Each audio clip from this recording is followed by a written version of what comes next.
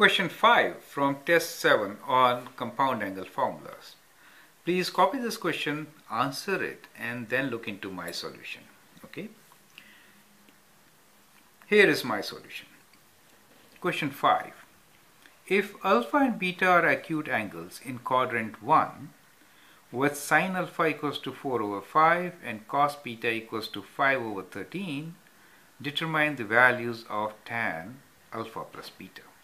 Okay, so what we should do here is that we know that alpha and beta both are in quadrant 1, right? Both are in quadrant 1. And as you know, in quadrant 1, all trigonometric ratios are positive, right? So cos proof, all are positive, correct? Now we have two triangles. We're dealing with two triangles here. One is alpha. Let's make those two triangles, right? So let's say this is our triangle 1 and then that is our triangle 2.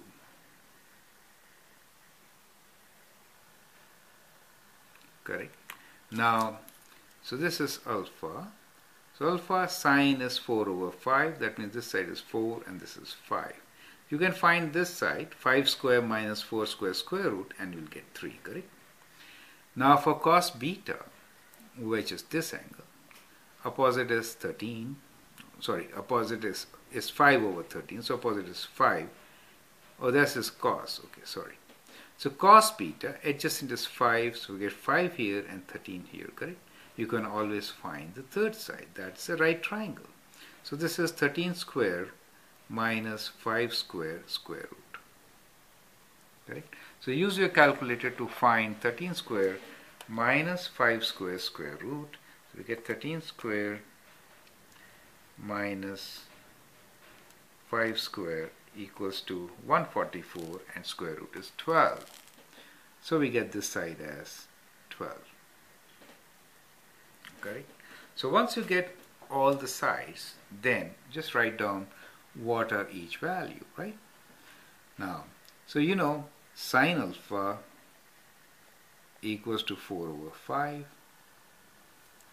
And in tan alpha plus beta, you basically need tan, right? So we get tan alpha is equals to how much? So tan alpha is 4 over 3, right? 4 over 3. How about tan beta?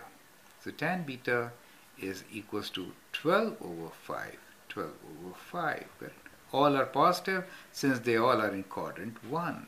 And what is tan of alpha plus beta? You know your compound angle formula. Can write that. So it's tan alpha plus tan beta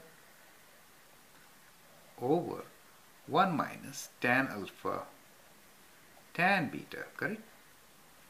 Now you can plug these values and get the answer. That is 4 over 3 plus 12 over 5 divided by 1 minus 4 over 3 times 12 over 5 correct and then you'll get your result. Just solve this and get your answer.